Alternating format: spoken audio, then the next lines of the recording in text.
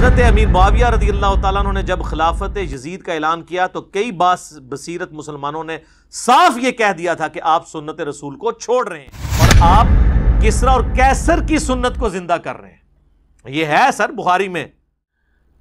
बारह number reference है जी, सैयद दाऊद राज, जिनकी बुखारी की शरह बुखारी में एक हदीस है, फोर थ्री फाइव नाइन। लंबी हदीस है, उसके आखिर में एक जू अम्र।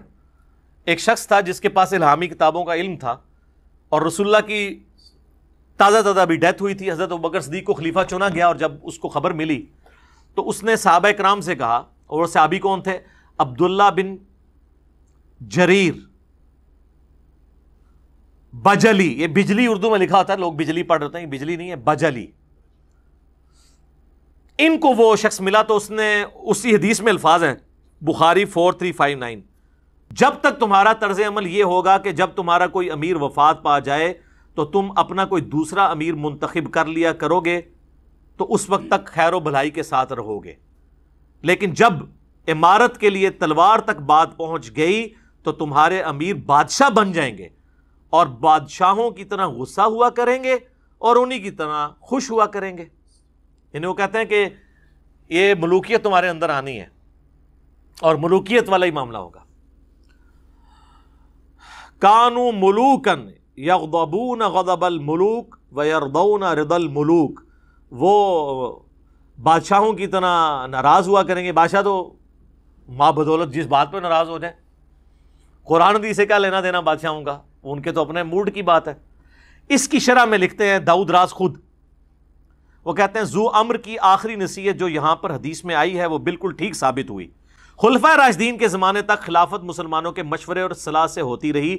इस दौर के बाद किसरा और कैसर की तरह लोग ताकत के बल पर बादशाह बनने लगे। और मुसलमानों का शराजा मुंतशिर हो गया।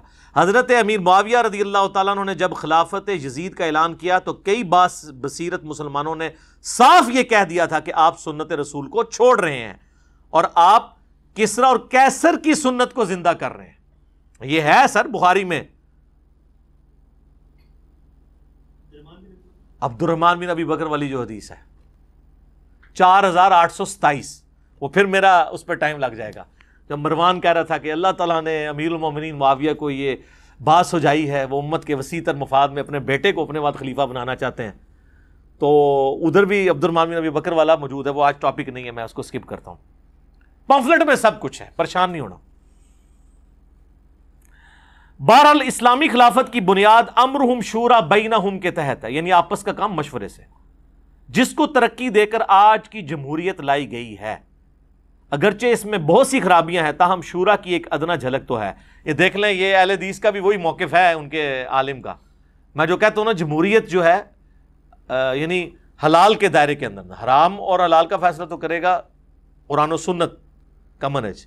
हलाल के अंदर अंदर कसरत राय से फैसला करना इस्लामी जमहूरियत जो है, मैं वेस्टर्न जमहूरियत, वो खिलाफत राजदा की एक मॉडर्न फार्म है, ये खुद ये भी मान रहे हैं।